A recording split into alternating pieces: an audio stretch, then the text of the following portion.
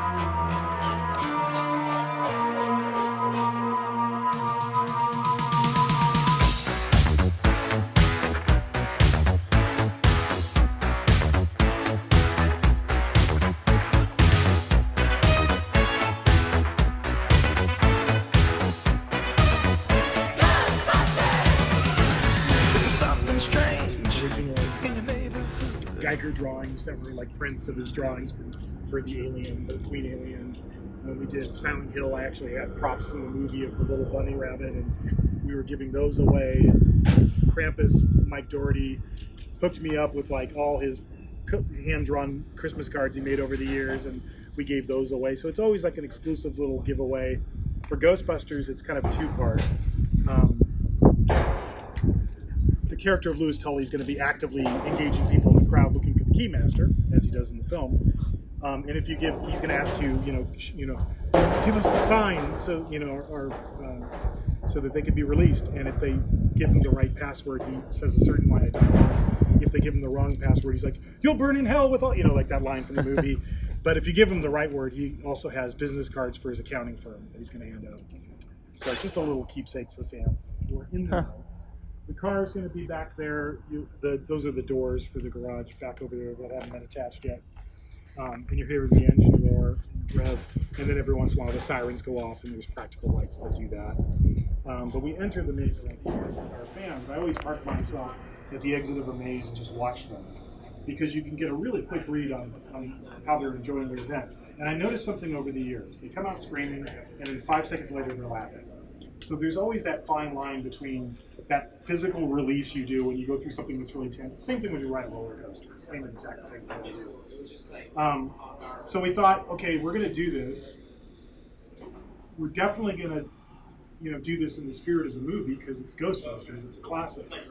Um, so we're going to do scenes that are purely comedic, or purely, you know, to pay off a certain thing in the film that might be more presentational as opposed to a guy going ah in your face. Um, there's less of that in this maze than there is in the typical maze. Uh, this is a good example. This is, as you can see, this is Janine Melnitz's desk, uh, the secretary from Ghost, the beleaguered secretary played by Annie Potts in Ghostbusters. So we wanted Janine doing what Janine does. So when we get to this point in the maze, you're getting the sense outside that things are going bad in New York City. You know, the ghosts are, you know, have escaped out of the containment chamber and the game is on. So what we're doing with Janine, with dialogue over the years, um, I've kind of learned over time that to ask a performer to sit here and do dialogue with their natural voice, even if they can do the character, is asking a lot because any performer that we block a scene for them to do in Horror Nights, they're going to do it 90 to 100,000 times. You know, just sheer repetition because that's the cycle we expect them to be on. So it's hard on the voice. To, if you're, you know, when we were doing The Shining, we, we had a little choreographed scene with Shelley Duvall's character and Nicholson as if he was breaking the door down with the axe, and that was this whole block thing. And I canned her dialogue so she could do the no, no, and scream Jack, Jack. Um, and I learned a really valuable lesson. Repetition is great for memorization. you know, these guys hear this so much that they just become experts on doing lip sync to track. So when we blocked that scene for The Shining, I like blocked it. I went away to do something. I came back ten minutes later, and the girls were like spot on, perfect. And the same thing, like, do you guys did you guys go over to Killer Clowns? Yeah. There's a scene out front with Farmer Farmer Gene, the old guy who Royal Dano played in the film that finds the spaceship. You know, where's my dog? Where's my Pooh Bear? Um, and when you hear the maze, it probably sounds like that. I did this once. um, so we did something different there too, where we have a performer out there playing Farmer Gene with his lantern and his shovel, thinking he's going to discover the meteorite that's going to make him rich, and he's looking for his dog. And there's a shadow of, of me dressed as a killer clown carrying his dog through the background, uh, coming from inside the circus tent. But then he has to do a whole bunch of dialogue. It's like a little scene that plays out while you're waiting before he grabs, I'll tear this thing apart with my bare hands, and he gets electrocuted. Um, I watched him do it the first time, and I went, okay. And I came back like 15 minutes later. I was like, oh damn, he's like he's down. He's got every line down.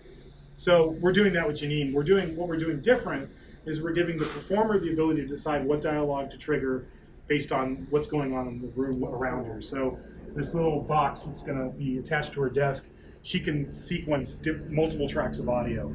So sometimes it'll be the phone ringing, Ghostbusters, what do you want? You know, sometimes it's as if we're the EPA walking into her private domain and she's like, Excuse me, where are you going? Other times it's the longer call with Dana where she gets the first job or the Sedgwick Hotel. We got one, you know. So this performer's got a whole bunch of different things she could do, all within her control. While she's doing that, um, and it alternates depending on what. Sometimes you'll go through the maze, you'll see Egon bust through that door, and he's carrying one of the traps. He's just caught one of the traps outside of New York, and he's bringing it into the containment chamber. So that's a prop that has a tiny little mini fogger inside it that's battery operated. So it's smoking, and he comes busting through one door and exits through the other door. Sometimes it'll be Winston, so we mix it up. You'll see different Ghostbusters depending on when you go through the maze. Um, but this is all pretty much just setting up the story of Ghostbusters. There's nobody in here jumping out and going, ah! Um, and then we go into the containment chamber. So this just needs their names. Um, this is the containment chamber. Uh, this actually, we take a left turn at this point in the maze. And we go, uh, when I pitched this to Ivan Reitman and his son Jason, who's doing a new movie, um, I went, okay. in the original draft for Ghostbusters that Dan Aykroyd wrote, there was a scene, this is the level of research we go to, um, where there was a camera that allowed the Ghostbusters to look inside and see what the ghosts were doing when it started to get really crowded. And it ended up just being one of those things they cut in the movie. I said, I want to go inside. I want to go in the containment chamber. If I'm a fan, I don't want to just walk by and go, oh, there's the containment chamber. I want to see, I always wondered what, what happens inside the containment chamber. In the script, the way Dan wrote it back in the day is that they looked through it and all the ghosts were just bored. And they were all just like guys in the prison, you know, leaning against the wall, playing cards.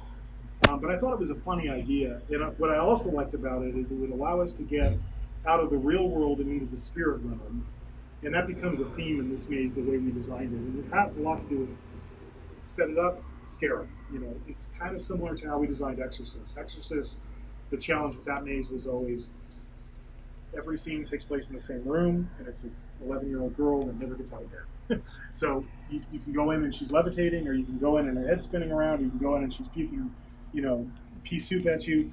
But that's you've got to do every one of those beats. So we, we used the, the spaces in between to do the scares and Exorcist. This is similar in that we we borrowed an idea from the video games.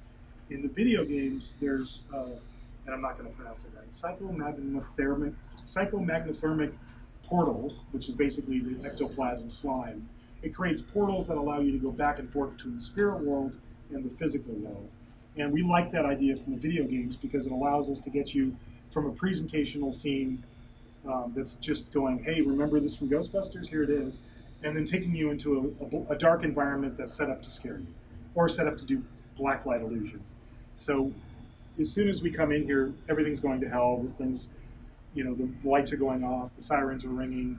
Um, you can see just by the nature of what the daylight is doing right now, we have gaps in it that are designed for the light to shine through as if the bricks are starting to expand. And then this is what we call our disappearing room effect, which we first did in Insidious, I want to say. We did it in Freddy vs. Jason, where you went into a hallway in the house and it turned into the boiler room. Uh, same idea. It's it's a photograph of our set that's printed onto perforated material, like a bus graphic, like you see in a bus, like when you're getting the bus and there's those big movie posters. Um, and then it's attached to plexiglass.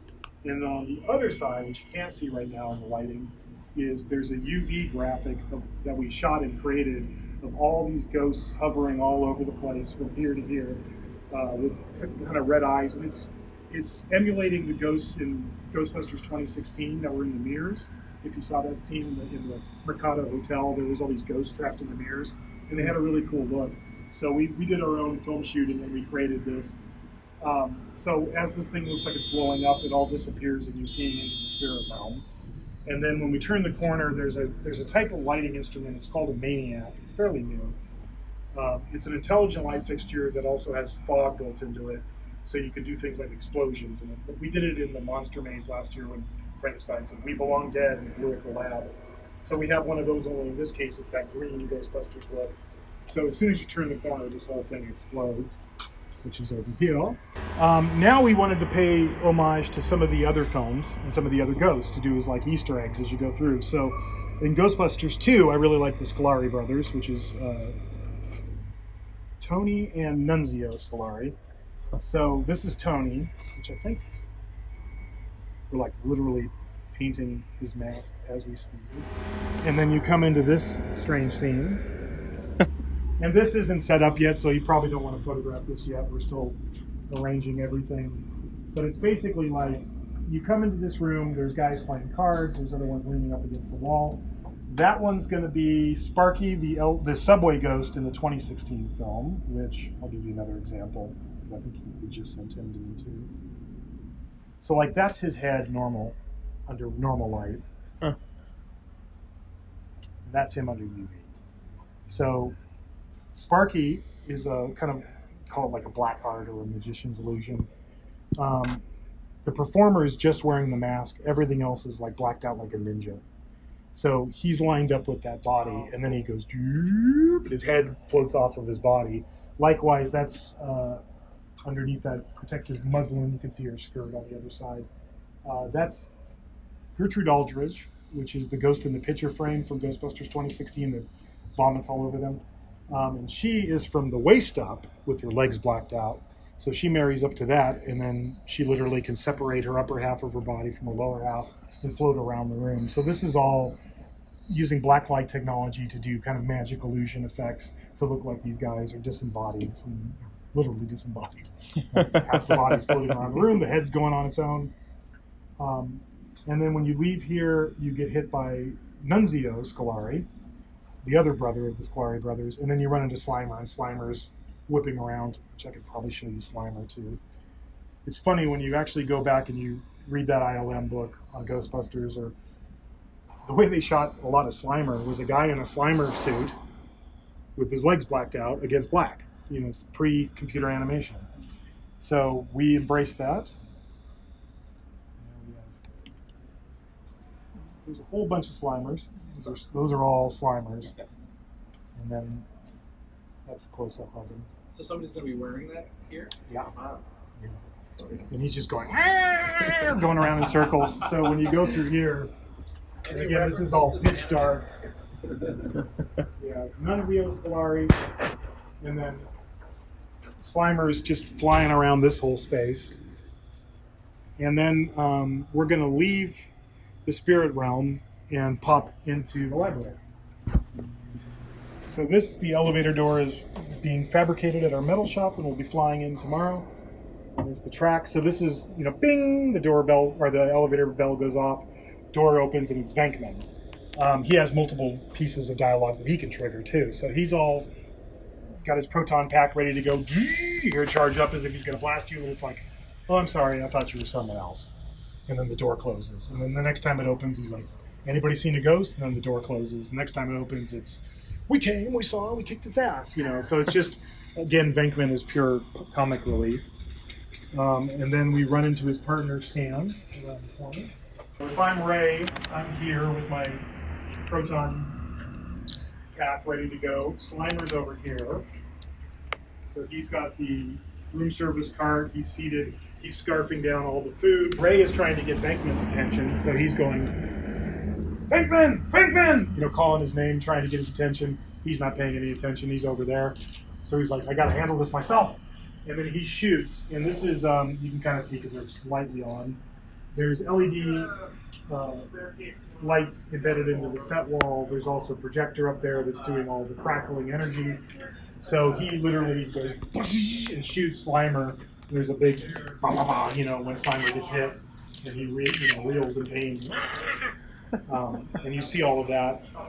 And then you turn the corner and you do the famous Slimer scene. But this this performer again, he's never gonna go boo. he's always just doing the gag where he's shooting Slimer all night long, and is trying to balance the the hard scares. And that's again another reason why we're constantly going in and out of the spirit realm, to pay off those scares. This one's more of a puppet.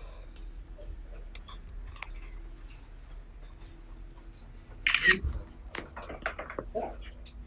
Not attached earlier.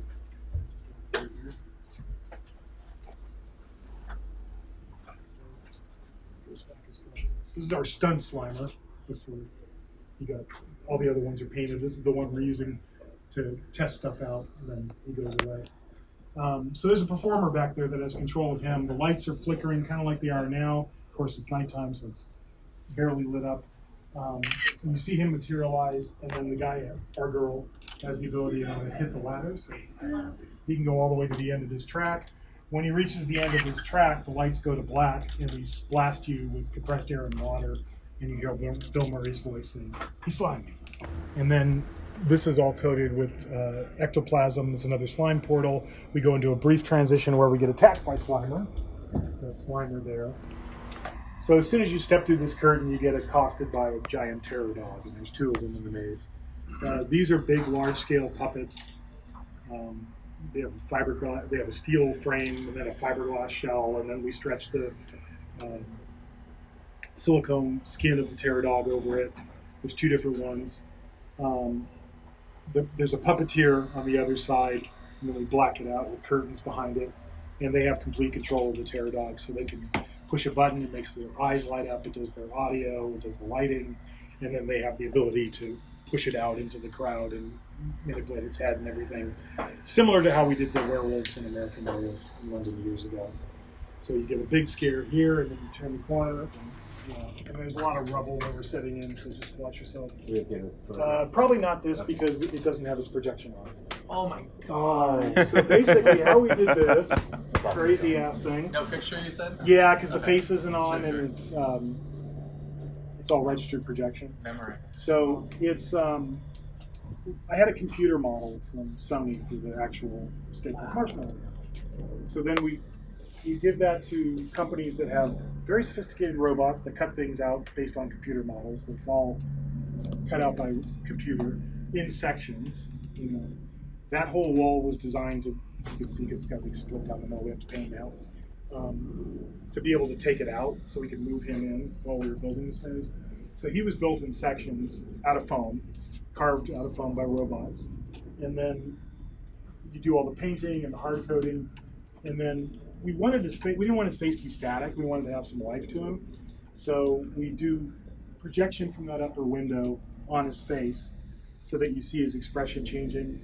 Uh, the four Ghostbusters have their proton packs. They have lines that are both LED and fiber optic, and then projection on top of that. So as you come in, it's just like roast him, and you just see these things light up, and you see him getting pissed, and it's just this huge scene. How, how Yeah. tall and wide is that? um, we're probably, geez, probably about that. 20 feet? 20 something feet. something like that. It's about, about twenty. It's probably Same width. fifteen across, maybe. Two? Yeah. So it's like he's climbing up over the edge of the building. Yeah. It's like, well, you're gonna do Ghostbusters. You gotta do. You gotta. You can't not do the Stay Puft Is that the biggest character you've ever done? I think so. I mean, we did the Queen Alien. Yeah. That was big. Yeah, yeah, yeah. But That she was was skinny and tall. Yeah. This- Fat. and in Stranger Things, we have a mind flayer downstairs that we built this year. That's big, but it's not like as bulky as this is. This thing is just huge. It's all foam, you said? Yeah. It's all carved foam. Yeah. That's this is the bottleneck room. It's not marked. Yeah, this is selfie Everybody's gonna central. stop This is like, yeah. keep going, keep going. Yeah. You Yeah. could, you could have built the second one and charged for photos outside the maze. Probably, if I had patience. Will there be performers in here too? No, this is all just Yeah. a visual. This is cool. Um, It's very cool. and then we got the four guys shooting away. And then when you leave here, obviously this is the end of the maze, and then uh, just like the end of the movie has the tag with Slimer, on your way out, you have one final Slimer hit until we leave. And that's Ghostbusters. That's that's it's probably Bravo. maybe a little bit less